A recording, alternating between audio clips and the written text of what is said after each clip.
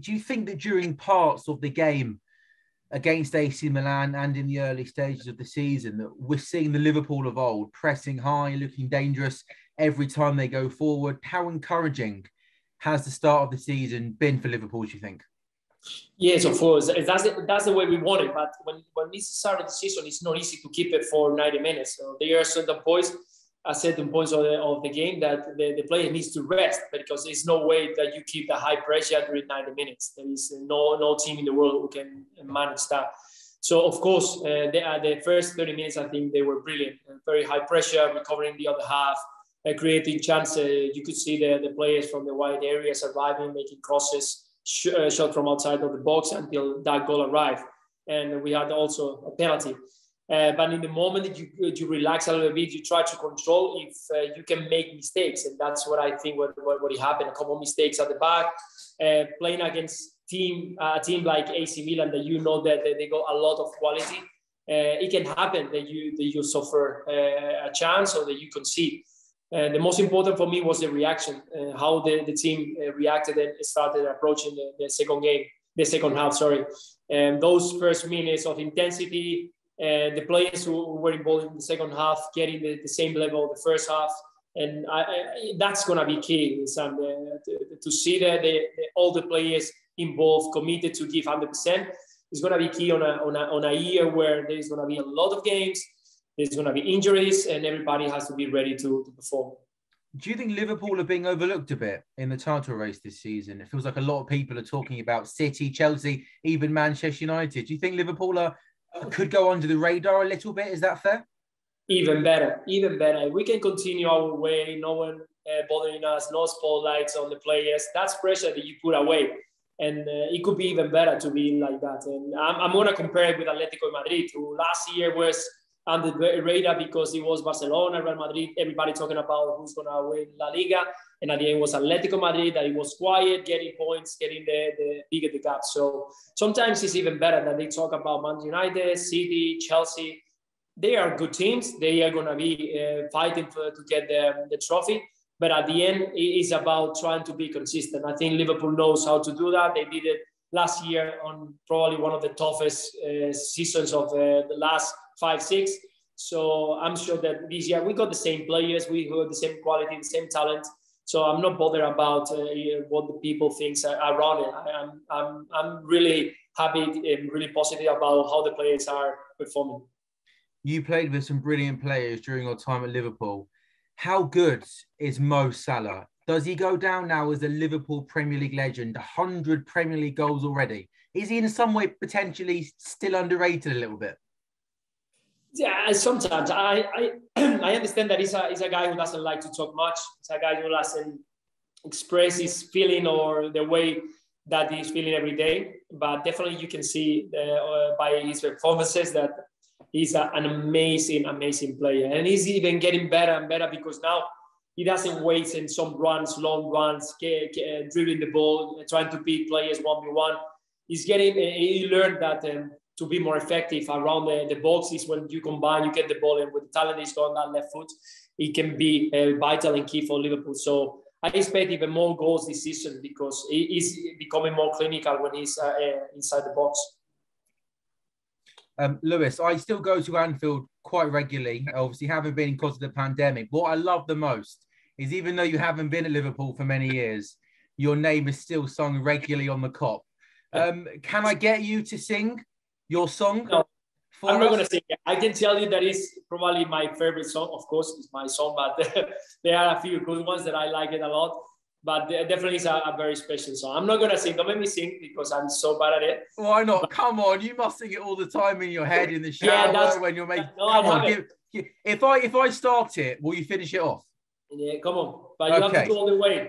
Okay, I'll do the first bit. I'll sing the first four lines. You finish it off. Luis Garcia, he drinks sangria. He came from Barca to Liverpool. He's five foot seven. He's football heaven, so please don't take a Luis away. well done. Thank you. How, how, I don't how, have my guitar here. I don't have my guitar here. You should have put. I thought you were going to put a bit more effort into it. If I'm being honest, but anyway, it doesn't matter. No, but see, how special is that? You know, again, it's been a long time since you were a Liverpool player but I imagine every time you, whether it's on TV or in the ground, and you hear that song sung, it must be a special feeling. Very special. I mean, probably is one of the, the, the best thing that you take from uh, from my or I take from my career. Uh, you can win trophies, you can play uh, good games. Of course, you're going to remember the derbies, the finals.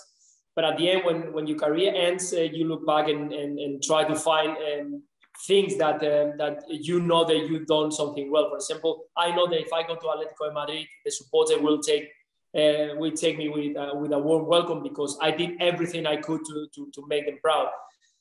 Knowing that at Anfield uh, they continue singing uh, a song that they made only for me is just something um, special. And um, when I try to uh, give back all that love, uh, is go every single time that I'm here in Liverpool and that I can I have the chance of meeting some supporters. When I travel as ambassador all around the world, I try to um, to bring exactly to give that uh, to, to them because uh, it's been amazing and I can tell you that song has been sung in, in Australia, in Singapore, in China, everywhere that I've been, and it's, it's even bigger because if you hear it here uh, on the Kop or at uh, Anfield, yes, of course, but when you travel yeah. thousands and thousands of miles and you know that the song is still sing uh, sing there is just amazing. Ah, lovely stuff, Luis. Lovely stuff. Um, last week, Cristiano Ronaldo made his second Manchester United debut um, against Newcastle. The following day, we had on Talksport Lee Grant, who is the, uh, one of the Manchester United goalkeepers, and he told us about the Friday night before the game and how normally they would always have a dessert after their dinner, maybe a brownie, a, an apple pie. But he told us that um, all the players having a look at Cristiano Ronaldo and seeing what he was doing, and he didn't touch any desserts whatsoever on that Friday night. So Lee Grant told us that not one Man United player had any dessert on that Friday night because of Cristiano Ronaldo. There was no brownies, no apple pie, no nothing. I'm looking for a Luis Garcia Liverpool canteen story here do you remember anything in your time at Liverpool where Gerrard or Carragher said you can't be eating that and you can't be doing that, or someone has something they shouldn't be eating? No, Carragher can't say anything like that because I remember him getting uh, some uh, scoops of uh, ice cream some days before, some nights before the game. So he can't tell you anything about that. And he would be a lie. But I remember that when, when we arrived um, uh, at the canteen, we had so many different snacks chocolate bars, snacks, even chips at some points. And when Paco Ayestarán arrived the day after, it was all gone. We didn't have anything at all. Uh, only those uh, uh, kind of uh, cereals that, that, taste like anything. That is like you put grass on your mouth. And uh, there was no chocolate bars. It was all healthy stuff, uh, vitamins and proteins all around the place. So there was not much. but if I have to tell you one thing about the our canteen, uh, Pepe Reina and myself used to go and cook for some of the other lads because you, we know in Spain we, we had um, this um, steak, we had it red, you know, quite red, and here normally is very well cooked, so it's it's, it's different for us. It's, it's not nice, and the meat, the pieces of meat that we had, they were fantastic, lovely. So we used to get inside the canteen and we make our own steaks, and uh, thanks God. Uh, uh, the, the girls allowed us because uh, it wasn't not, not even allowed to get into the kitchen. But we sneak in and we used to make our own steaks, yeah, yeah to and, have a little bit of Spain here in, Liverpool. And did you make for the whole team as well? Did did, did the players uh, like, not, like your not, steaks? Not, not everybody likes uh, the, the, the meal like that. A piece of uh, sirloin steak, something like that, that when you cut it, you see a little bit bloody. In, uh, not everybody likes it, and, but it's the way that we, we like the, in Spain, and we used to do it just side by side, and that's it. Yeah. And Jamie Carragher, was he the biggest snacker in the Liverpool team? Was he the one that always went a little bit too far in the canteen? Yeah, well, actually, uh, Jamie's not one of those um, fanatics about food. You can give him a, I don't know, a rock and he will eat it. So he's, he's not a, a fancy, a fancy eater at all. Luis, Rafa Benitez brought you to the Premier League. He's now managing Everton. Do you think in your career post Liverpool, you could ever have played for Everton? Me? You? No, I can. Uh, now it's easy to say no. No, never. but when you were playing, though, if Everton came in no, you after no, Liverpool, no, at that, that moment, no. But much more with the with the lads, the, the, the way that um, when I arrived, I knew straight away that the games against Everton and against Man United, they were they were like massive, massive. So you kind of, I'm not gonna use the, the, the word hate, but you kind of start getting that uh, I don't want to be closer to any of them or the, the, the, the players or, or, near the stadium. So even though they are very close. So yeah, it's easy now to say, no, I, I, I wouldn't play uh, for Everton when I was a player. But yeah, you can see that at the end, we are all professionals. And if I want, at some point uh, that happened, uh, you might have taken. But no, the straight away, I would say no. Um, also, this is quite incredible. An interview with Luis Garcia and I still haven't asked you about the ghost goal, the goal against Chelsea back in. Have you ever gone through an interview where no one's asked you about the ghost goal? Actually, today we had a couple, but yeah, I, sure. I, I brought it up. I brought it up. Yes. um, so I'm not going to ask you about the ghost goal, but I'm going to ask you: Do you believe in ghosts? Uh, no. Not at all. Don't just not not having it. No, not having it. Okay, cool. Don't tell me that you've seen one because then we are we are there's one that comes at home uh, for halloween but that's the only one. For what for halloween? Yeah. A real ghost? A real ghost come for halloween yeah. So you do believe in, so, so you do believe in ghosts then? Yeah we call it that way. Okay i'll right. share it with you next halloween. Okay yeah take a picture and you can send it to me yeah? Okay. And last one for me, Luis. Uh, the game this weekend, Liverpool Crystal Palace, is live on Talksport 2 bit of a bogey team Palace have been at, times for Liverpool. Are you expecting another tough test?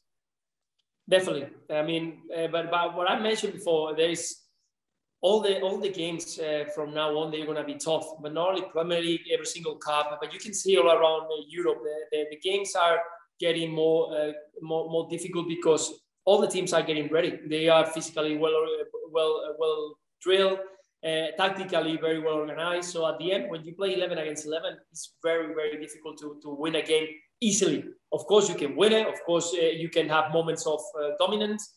But at the end, you're playing against professional footballers that they are ready for it. And it's not going to be an easy game in the, in the whole competition. So I'm not expecting an easy game. Hopefully, we can win 3 0, and that's it. But uh, definitely, uh, it's not going to be easy. You are brilliant, man, Luis. Thank you very, very, very much for your time uh, this afternoon. You're a great man.